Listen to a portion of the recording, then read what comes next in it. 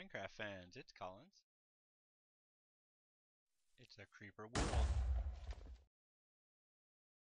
The better you are at vanilla, the better you are with all the mods. Hey ho Minecraft fans, it's Kollins. And we're back. You can see I lowered the floor in here. I hope you like the new intro. I'm going to have that at the beginning of my videos. You saw the Enderman farm. That's one I built in a creative world and uh, we will build almost the same one here. It's crazy. It will turn Enderman farming on its head. In the meantime, I am recording take two of my intro because I went through it and did not have my microphone connected right. So I'm going to show you a little montage of uh, exploring a little mineshaft section I found back there and then we'll be back. Here we go. I just found this cave and didn't do anything in it, so we'll do a little bit of exploring, light some stuff up. There's been monsters that I hear in the back of the uh, in the back of the end portal room, so hopefully this clears it up. In the meantime, while we're exploring, I wanted to cover a few things. Uh, this video, uh, it's been a few days since I put some stuff out. All those ores, I'll grab those off camera later.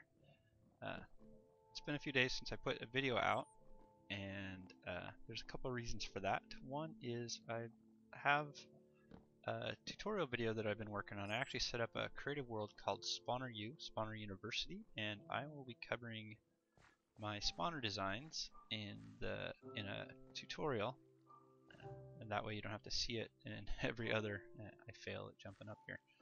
Uh, that way you don't have to see it in every other uh, Let's Play. Uh, so there may be a little bit of time frame between Let's Play series as I put together more tutorials. Uh, if you like the stuff in Let's Play, we'll uh, have more of those coming soon.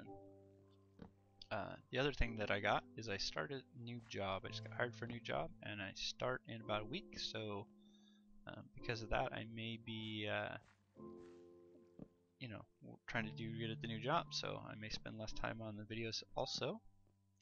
And then the last thing that I want to do with my videos is I kind of, you know, I don't have a whole ton of subscribers or views or anything like that, so I might do some stuff to try to promote the channel uh, before I start putting out a bunch more series that uh, five people watch.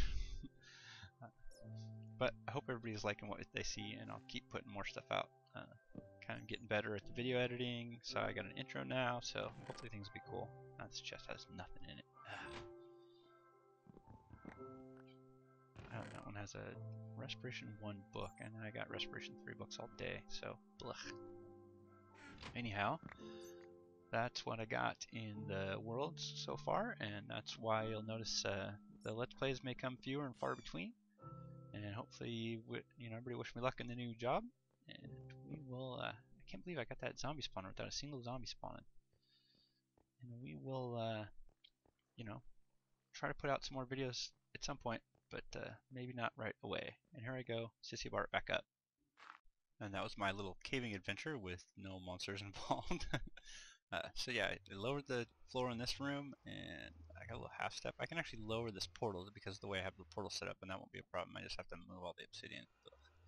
And I was thinking about, because with these half slabs up, that kind of leaves some floor space. So I may knock out that wall and move it back one, maybe knock out that wall and move it back one, which is why I discovered that.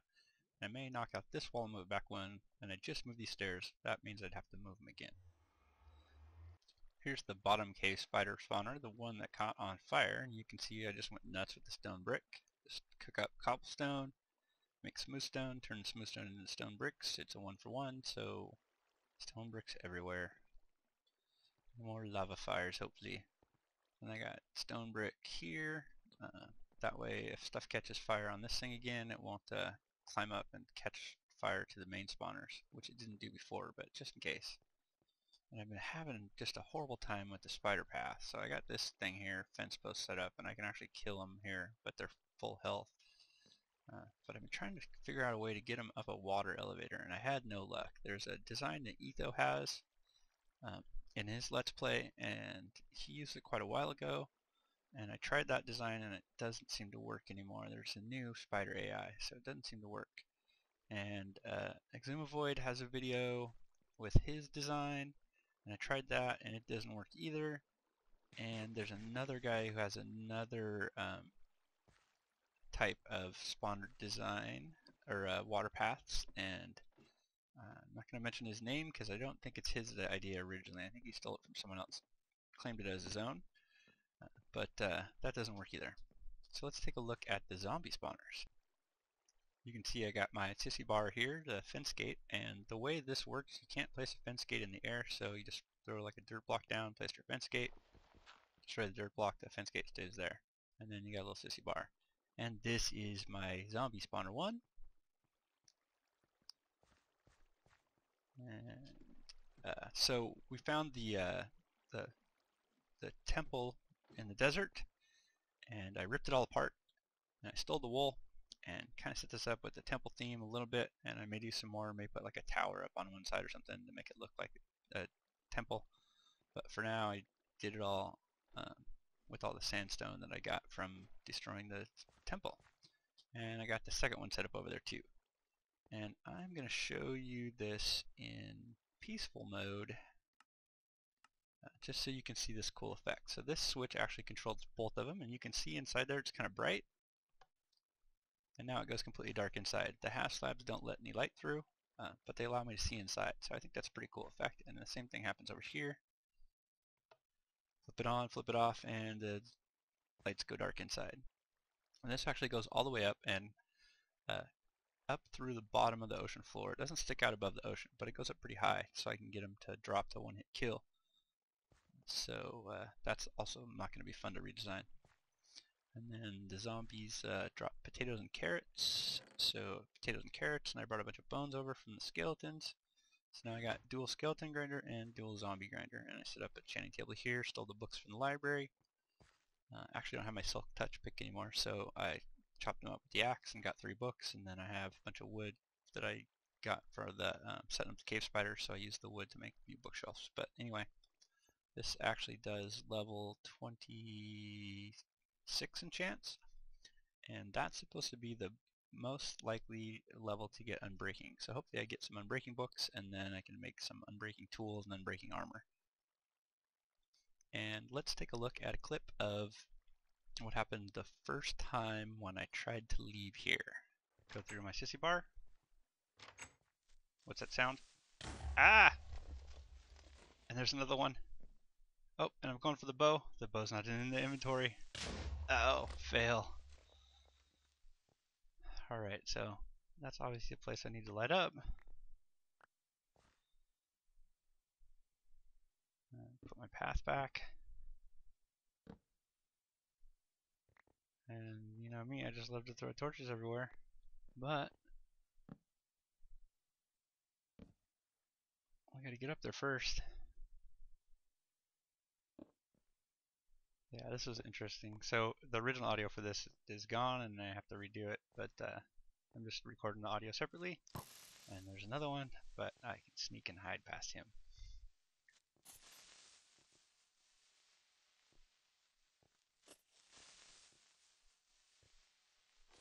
You can see I got flame on the bow now, flame arrows. And it's uh, infinity bow, so I can't get the arrows back. So the flame just stays there. And I ran out of torches. Okay, so definitely gonna have to go back for torches on this one.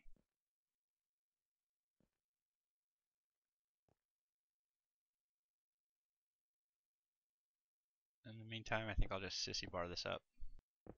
So here's the dual skeleton grinder. Um, and you can see, previously I could see the skeletons coming in over here but I actually lowered uh, the skeletons down on the first spawner and uh, it actually keeps that spawner from capping out uh, as they try to come up the water path. So uh, now I can't see them because it's down below all my redstone and stuff uh, but more skeletons come. So even crazier than the last episode where I had the 700 skeletons and threw a potion at them and then I set up a little garbage disposal here, and I've been playing with this dropper thing, trying to figure out how to get this to work, because basically I want to destroy the bows, but the only way to do it is to push the button, so there's got to be some way to do something with the dropper. I was hoping it would pull from the chest, I don't know, I'll figure that out later. And you can see I'm carrying a button, so uh, like if I carry a torch, it's pretty unobtrusive in the view, and if I carry like a dirt block, it kind of sticks out a whole lot or something like that. The button actually is very even less intrusive, so I've been carrying the button around once I talk, so it gives me an idea to point with stuff. That's kind of cool. And then here in the Nether Hub, what I've been thinking about doing is setting up like the um, abandoned mineshaft looking thing with the wooden posts and the wooden pillars across the top. The only problem is, is in the Nether, especially with the um, 1.5 generation, there's like lava everywhere. So if you saw when we explored the uh, Nether Fortress, I was running along and there was just lava sitting in the wall, like one little pocket of lava. Those little pockets are all over here. Um, as I dug out the path from the uh, Nether Fortress to the to my Nether hub, I kept running into those little pockets. They're everywhere. So what I might end up doing is just placing some wooden blocks at random locations and uh, seeing which ones catch fire, and then digging around to find the um, lava. Otherwise, they're going to catch fire just like the spider spawner. Yeah. Alright, what are we going to do next? Just grab some pumpkins really quick here, and watermelons. So, um, one of the things that I may have mentioned in the past is that I am in the IT field, and what I just did was I did some spring cleaning on the computer. Actually, just took the case off and blew a bunch of dust out. I used to use an air compressor. I have canned air, but it's easier to use the air compressor. And uh, that's something that I have found works really well for um, just keeping your computer running better. Because uh, usually the, the death of most PCs is heat, so uh, dust builds up and the fans clog up and they don't cool the system down and things start to break. So just want to mention that. That's something that uh, you can do on your computer. Just pull the cover off, blow a little air through there, get all the dust bunnies out.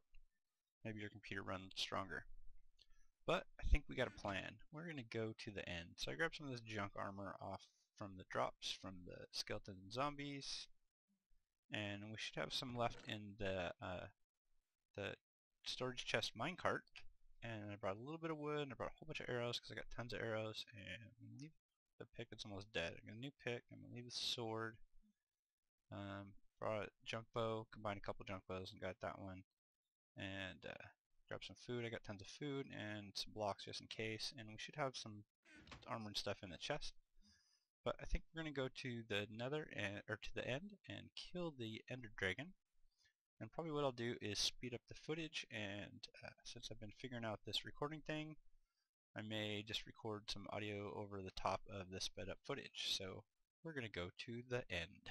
So we jump to the end portal. My uh, blocks are still there. Grab some stuff out of the storage minecart from last time. So this is running at 2 speed and I'm doing the audio commentary after the fact. And there's the Ender Dragon, but we gotta get rid of all these tower things first. So these towers are any damage to them and they blow up. You can see I already got hit by the Ender Dragon. And again, I just didn't seem to figure that part out the first time.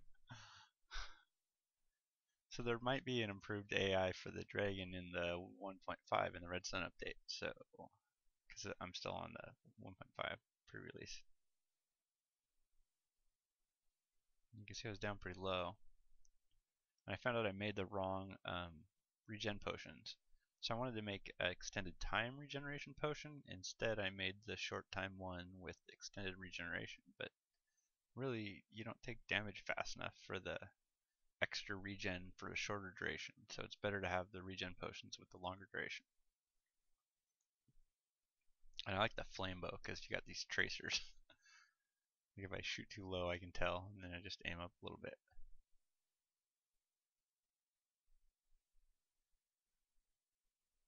Or I just miss a thousand times, full of fail.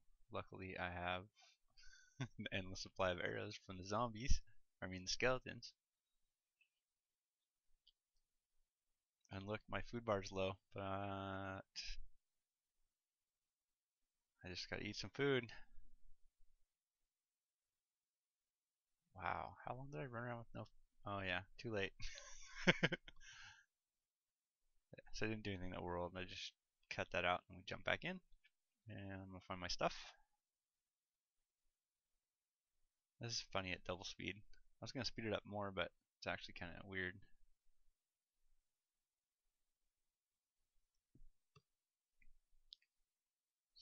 Got all my gear, just gotta put the right stuff on. Looks like I had pants. Did they break? I got the three ender pearls from doing the ghetto hunting blind. We stored them in the minecart earlier. Oh, and I knocked off the world. So I thought I actually fell out of the world. Oh yeah. So I went back to the zombie or the skeleton spawner, got some more armor, and I killed the pigman when he came through. he came through the portal. I just killed him. What the hell? So I came back with more ghetto armor from that dropped from skeletons and zombies, and then all my stuff is still there on the ground. So I didn't actually need the ghetto armor. Oh, and look, I got hit again by the stupid ender dragon. So apparently, uh, the AI is much improved. Hit me again. I'm almost dead. And then that regen potion, it just fills your health bar up too fast. And then you're sitting at full health and the regen's wasted. And there, this block on the ground, there's a block of cobblestone down there. I placed that the first time we came to the end, and I thought that Ender Dragon would steal blocks. supposed to steal cobblestone. I don't know. I don't remember in the end of the video. I'll have to check it when I'm doing the commentary, see what happens if that block's still there. And my path from the um from the pad that I spawn on to the island is also cobble, so like that's why I brought cobble with me every time I came in because if I uh, if that path is gone, I have no way to get to the island. And see now that I've got the um when I was trying to shoot the towers, it's hard to watch the Ender Dragon, but now that I'm just trying to kill the Ender Dragon, it's easy mode. And then every time you shoot the Ender Dragon, the they it changes directions. And here's that glitch thing you can see. So you saw the Ender Dragon like fly off, and then it looked like it was just standing in one place. That it's too far away from me to move anymore. It's like it's in an unloaded chunk, and I can still see it. Um, and it used to do that a lot before um, whatever changed. I'm guessing, I'm thinking it's something in the um, Redstone update that they changed on the Dragon AI. But the Dragon used to always like fly too far away and then just be stuck there, and you can run around and do whatever. It's not the case today, though. I didn't expect this fight to be this crazy. Probably would have recorded it in real time. See, it does it again, glitched out, and then I gotta walk towards it in order for it to fly back to me. And then, of course, she beelines for me, which did not happen the last few times I killed Ender Dragon. I killed the Ender Dragon in my last two uh, survival worlds that I played. So the one where um, I have the video footage of like the mage tower and stuff, and then there's another LP or not. Oh, well, I didn't make a videos of it, but another um, survival world that I played in that I killed the Ender Dragon there too. On that fight was really easy, and the videos I've seen of other people fighting super easy in mud too. I keep checking my arrows. Am I out of arrows? I don't want to store all those blocks because now I'm expecting to die. I'm like, what armor broke? Oh yeah, this is where, yeah, I go for the flame bow. Because for some reason I grabbed all these skeleton bows and the one I grabbed didn't have flame. So without the tracers, it's harder to tell. That's what's kind of cool about flame. This It's like tracers. And you can see this dragon's all glitched out and doesn't load. And then once the dragon gets close, beeline for me.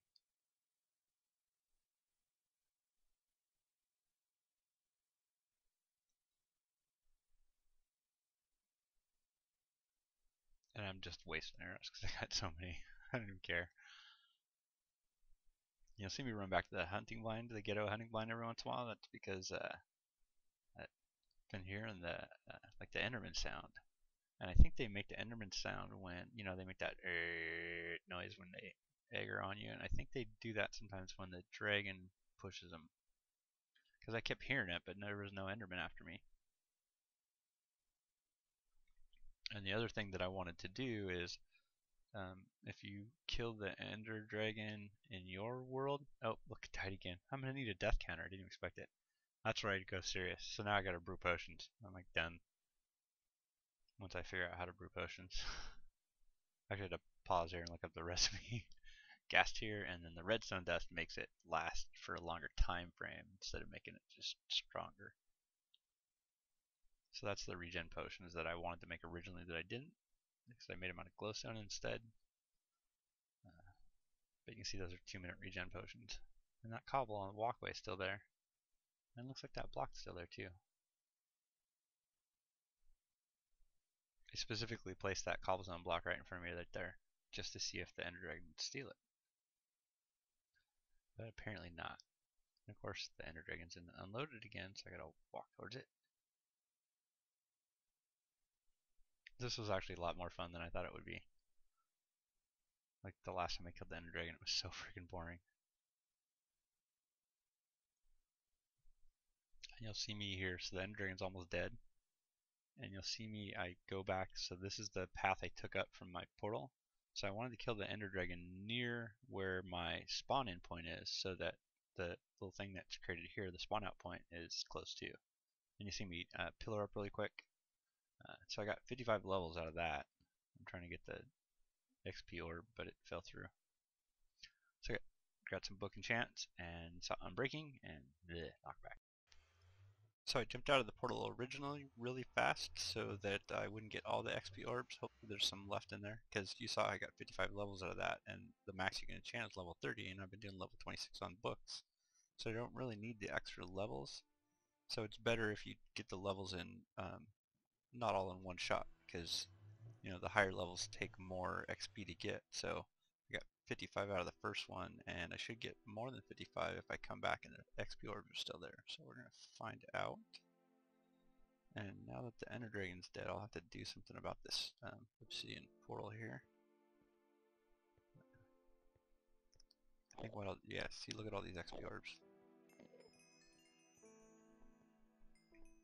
And it looks like that cobble block that I did place did actually get taken by the Ender Dragon. Okay, see I got another 51 levels. And you know what? I was going to bring ladders and I didn't bring ladders. I got all these cobble blocks though. Maybe I'll just bring a set up staircase over here. So we got 51 levels and we got this and I will probably cut the video here unless something uh, crazy happens, and then we'll meet up at the enchanting table. Where'd you come from? Still got a zombie problem in the base. I'm just going to drop off empty bottles, and we'll go over to an enchanting table. Okay, so we're over the zombies since I got my enchanting table and my anvil hooked up over here. And so I got the Unbreaking book. Where's it at? Unbreaking 3. And uh, I think I'll combine it and I want to make diamond boots. Even though I made those cool chain boots. I want diamond boots. There's something with the 1.5, like click or I don't know. Something they changed the way you click stuff in the inventory and I always end up clicking extra stuff in there. And I broke down my storage minecart and when you break it it turns into minecart in a chest and put the track in the box with the other tracks and uh, kept the ender pearls, but I put some other stuff away. This particle effects makes me think something, something's going on over here. Uh, but uh, let's throw some enchants on this thing here. So usually it's best if you start out with the higher level enchant. And then we'll give them names. That looks good. That's only 13 levels. I might have enough to actually do this. And then, can you do protection 3 with another protection 3 book and get protection 4? Yes, you can. Okay. And unbreaking. There we go. So now I got boots that have uh, unbreaking and protection and feather falling. These have the same thing. I, I like those boots, but I like the diamond boots.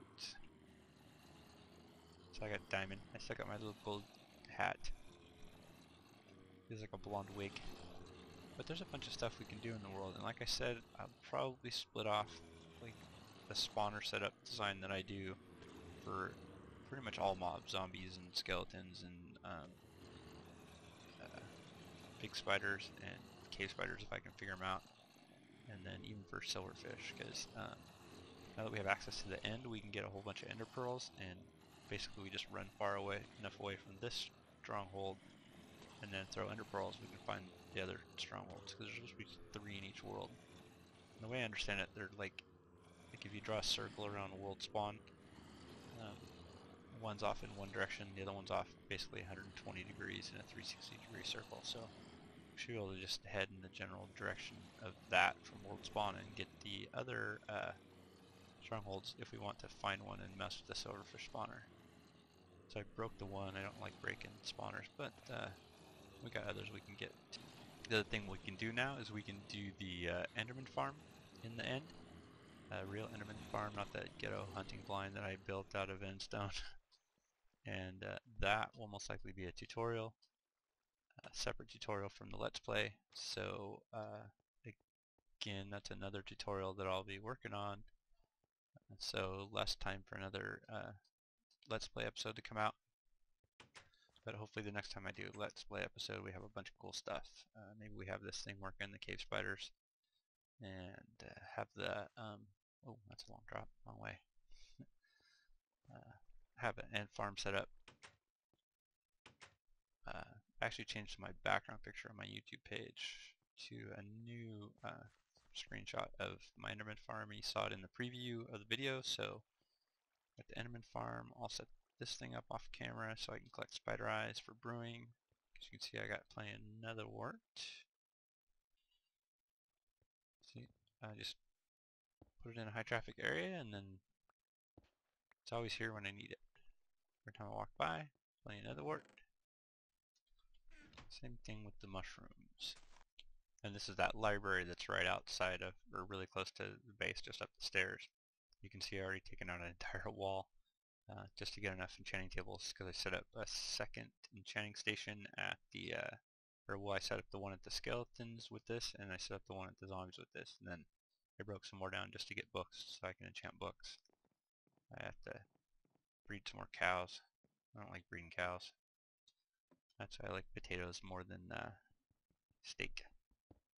So we got a piece of diamond armor. Hopefully we get some more unbreaking books and uh, do some more armor or weapons or picks or something. And I got all the junk. I have all the junk uh, armor from the uh, zombies and skeletons, and then I also have uh, the extra set of armor that we made. So those three low level enchants, and oh yeah, so I got lava and water. I was gonna bring that to the end and you can basically dump lava and water off the side of your end at the edge of the end and uh, it creates a cobblestone straight down and then you just uh, put uh, ladders on it and ladder down to the or follow the water path down to the end of the bottom of the world and uh, that's how you do your path out to your Enderman farm so you have it at a low elevation that way you can build it up high so I hope you guys enjoyed this video. I had a lot of fun killing the Ender Dragon. It was actually a lot more fun than I thought it would be. And uh, we'll do a little bit less of the progress of the spawners and we'll just put that in a separate tutorial and then we'll just use the actual spawners. So you'll see me doing chant and stuff. But you won't see me sitting there splash potioning 700 skeletons or anything like that. Uh, but thanks everybody who's watching and following along and hopefully it's not too long until I put out another uh, LP. But like I said, I got a new job coming up, and uh, gonna try to work on some tutorials. I have a bunch of tutorials I want to do, and we can do and the Enderman farm in this world, and I'll do that as a tutorial also. Uh, but uh, thanks for everybody for following along. Thank you everybody who likes and subscribes and leaves comments. the feedback I have so far is really good. Thanks everybody. See you next time.